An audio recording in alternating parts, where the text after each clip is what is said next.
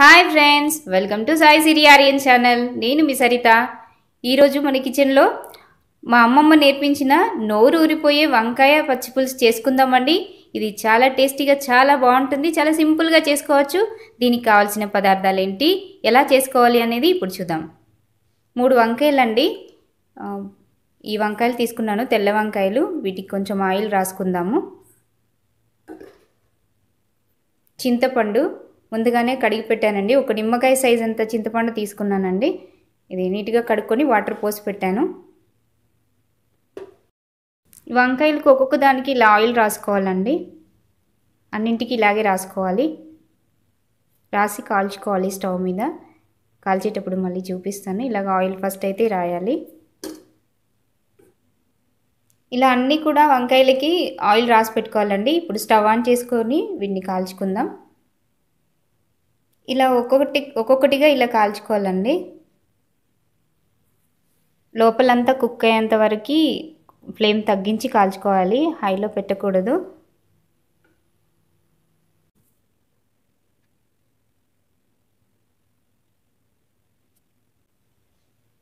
ఇలా ఇలా ఒక్కొక్కటి కాకుండా స్టాండ్ మీ దగ్గర ఉంటే స్టాండ్ మీద పెట్టి కాల్చుకోవచ్చండి.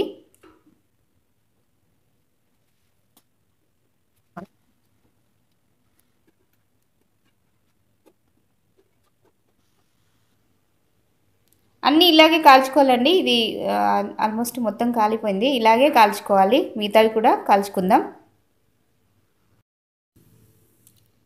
అన్నీ ఇలా కాల్చుకోవాలండి. ఇవి కొంచెం చల్లారాక వీటి పీలంతా తీసేద్దాము.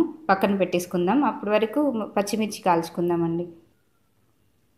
నేను చేసే ఈ పచ్చి పులుసు క్వాంటిటీకి నేను మూడు పచ్చిమిర్చి తీసుకున్నానండి. ఇందులో స్పెషల్ అంటేనే ఇవి కాల్చుకొని వేసుకోవడం అండి చాలా బాగుంటుంది టేస్ట్. ఇవి ఇలా కాల్చుకోవడం వల్ల స్టవ్ మీద. వీటిని కూడా మనం వంకాయల్లాగానే కాల్చుకోవాలి. చాలా బాగుంటుంది. ఇది చిల్లకుండా ఉండాలి అంటే కొంచెం ఒక సూదితో కానీ పిన్నుతో కానీ కొంచెం గుచ్చి కాలిస్తే మన మీద పడకుండా చిల్లకుండా ఉంటాయండి ఇది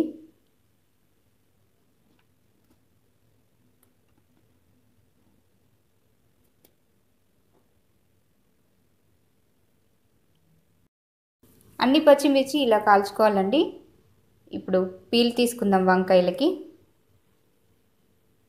ఇలా తీసుకోవాలండి. అన్నింటికి ఇలాగే తీసుకోవాలి. బాగా కుక్ అయిపోయింది లోపల కూడా.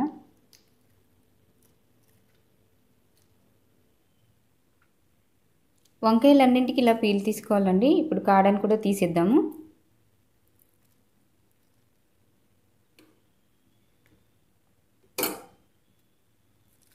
అన్నీ ఇలా తీసి ఇందులో వేసుకుందాం.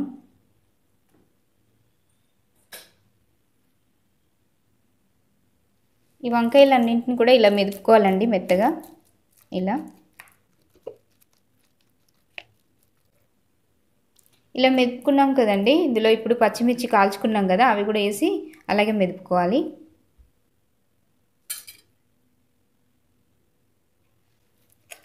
వీటిని కూడా ఇలాగే మెదపాలి మెత్తగా.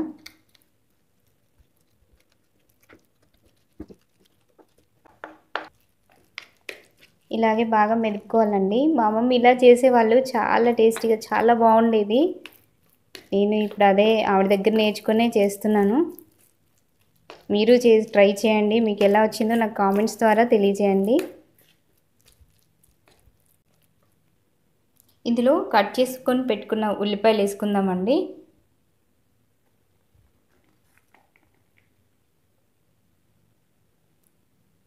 చిన్నగా తురుముకున్న కొత్తిమీర. ఈ టేస్ట్కి తగినట్టు సాల్ట్ వేసుకోవాలండి. పులుపు కదా కొంచెం ఎక్కువనే పడుతుంది చూసి వేసుకోండి. ఇదంతా బాగా కలుపుకోవాలండి ఇప్పుడు. బాగా కలపాలి. మంచి స్మెల్ వస్తుందండి ఇలా కలుపుతూ ఉంటే.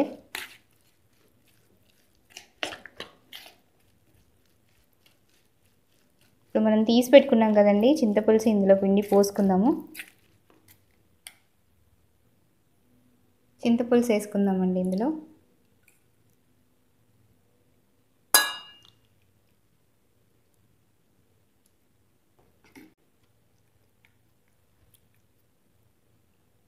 ఇందులో పులుపు చూసుకొని వాటర్ వేసుకోవాలండి.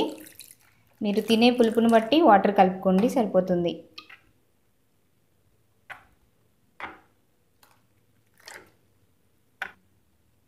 పచ్చిపులుసు కలుపుకున్నాం కదండి. దీన్ని పక్కన పెట్టుకొని పోపు వేసుకుందామండి ఇందులోకి.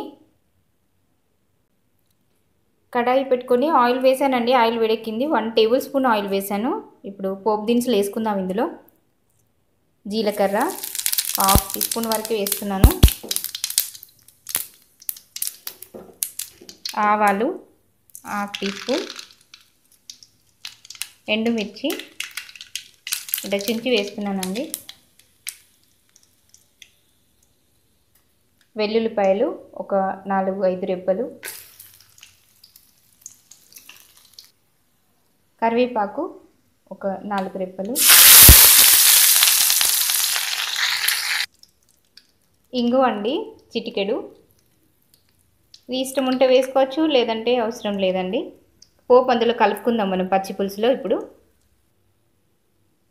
పోపు వేసేసుకుందామండి ఇందులో.